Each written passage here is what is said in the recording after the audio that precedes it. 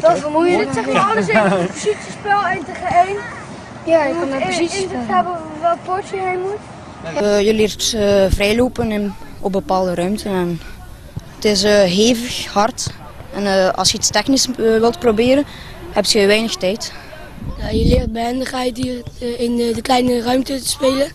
En je begint toch met je vriendjes in het team dus een beetje te communiceren in die kleine ruimte.